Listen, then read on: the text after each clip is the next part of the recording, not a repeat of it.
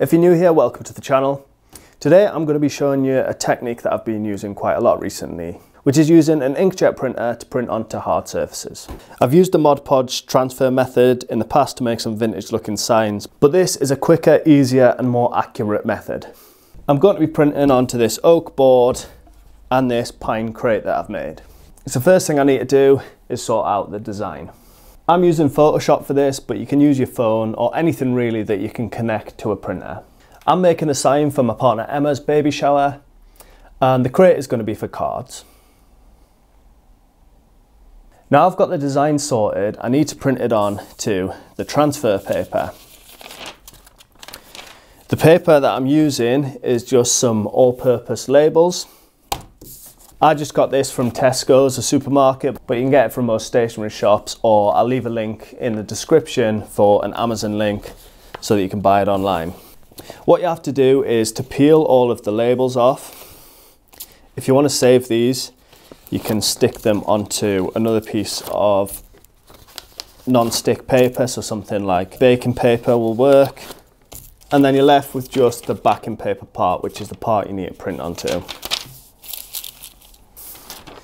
Then you just put this into the printer with the shiny side up because we're printing the design onto the shiny side. Slightly awkward to get to my printer. When you're printing, you have to make sure that you flip your design. With my printer, you can do this in the print settings, but if you can't with yours, you're gonna have to flip the design when you design it rather than when you're printing it. So with that all flipped, I can then print out this design.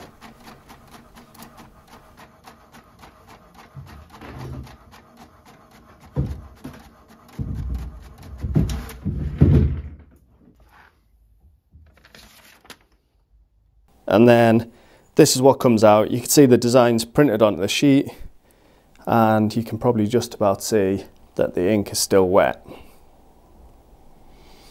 All I've got to do now is just press the design onto the page and it'll transfer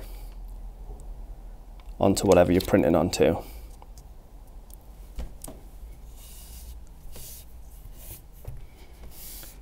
Just make sure that you don't move your paper or obviously design, it's going to smudge. Then I can just peel that back. And as you can see, that prints onto whatever you're printing onto. So I'm just going to finish these others off and then I'll show you the final result.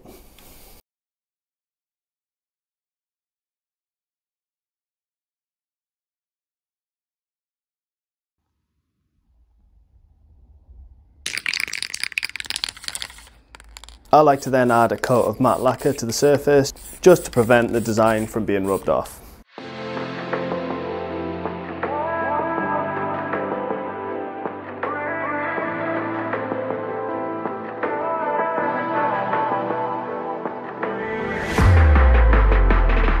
This is such a quick and easy way to print onto hard surfaces such as wood and it always leaves a pretty decent finish. So a slightly different video this week, hopefully you've enjoyed it. If it's been helpful for you, please do like the video. Check out the channel for lots more videos. Please subscribe and I'll see you in the next one.